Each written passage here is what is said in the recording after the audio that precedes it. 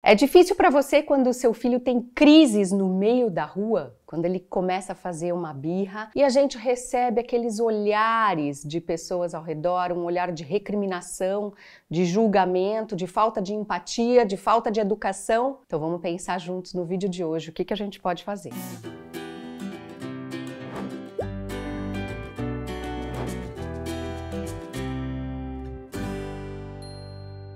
É difícil, né? Quando o nosso filho está desorganizado, nós estamos nervosos, a gente quer resolver rápido aquela situação, quer melhorar, quer que nossos filhos se sintam melhores e, além de tudo, a gente ainda tem que lidar com o olhar e a recriminação do outro para cima da gente, e às vezes até alguns comentários do tipo, nossa, ou você vê pessoas comentando entre elas, se fosse meu filho, né? Eu já estive desse outro lado, eu costumava ser a mãe perfeita, que sabia a resposta e o que fazer em todas essas situações, até eu ter meu primeiro filho. E agora eu tô do outro lado, do lado da mãe, que de vez em quando tem um filho que se desorganiza na rua também. E eu tava pensando sobre isso na nossa última discussão na mentoria, junto com as coordenadoras que fazem os atendimentos online. E uma mãe estava sofrendo muito com essa questão. E a terapeuta que estava conversando, a Pat, acabou de passar por um tratamento de câncer e ela ficou totalmente sem cabelo, sem sobrancelhas. E ela disse para a mãe: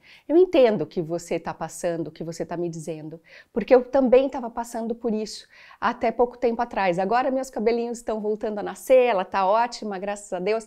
Mas eu tinha muito esse olhar das pessoas e aí eu percebi e discuti muito na minha terapia que esse olhar dos outros que não conseguiam me encarar, que não queriam ficar perto de mim, na verdade, era uma dificuldade dessas pessoas encarar uma possibilidade de morte, encarar uma possibilidade de doença grave, de sofrimento. Por isso que elas não conseguiam, porque isso atingia em algum lugar e fazia elas se sentirem mal. E a mesma coisa eu entendo que é quando a gente recebe esses olhares de recriminação, quando os nossos filhos estão fazendo algum comportamento disruptivo na rua, no chão, nas lojas, a pessoa que está do outro lado não consegue suportar a angústia de ver uma criança desse jeito, porque provavelmente ela não recebeu esse carinho, afeto e amor quando ela era pequena.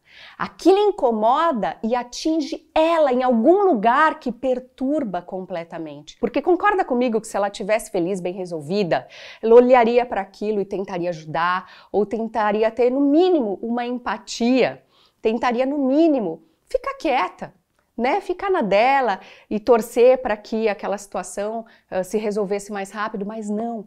Aquilo atinge ela e enerva ela de uma maneira que ela precisa criticar que ela precisa condenar, que ela precisa pôr aquilo para fora. Acho que tem alguma coisa errada com essa outra pessoa. Então, o que, que nós podemos fazer no lugar das mães que estão ali naquele momento com os filhos desorganizados? Acho que duas coisas. A primeira delas é desejar que essa outra pessoa tenha menos sofrimento porque aquilo está atingindo ela em lugares que estão fazendo ela reviver situações que podem ter sido muito difíceis para ela quando ela era criança. E ter compaixão, desejar que ela seja feliz. E uma segunda coisa é a gente pedir com educação: por favor, você me dá licença? Eu estou tentando organizar meu filho. Por favor, você poderia parar de me olhar? Por favor, você pode parar de falar sobre nós e voltar a comer a sua comida? Pede com educação, coloca um limite e diga que aquilo aqui você não quer para você. E a parte mais importante de tudo isso própria criança que está desorganizada. E a gente também precisa conseguir se acalmar para olhar para ele, porque é uma criança que não está conseguindo se comunicar de uma maneira mais adequada, que não está conseguindo negociar de uma maneira mais assertiva, que está em sofrimento. Ele não está fazendo aquilo para te provocar, para te atingir, para uh, te desautorizar na frente das pessoas. Ele nem entende, a criança ainda nem tem cognição para entender essa situação toda que a gente se coloca. E o melhor que a gente tem a fazer nesse momento é, com muita calma, esperar essa crise passar.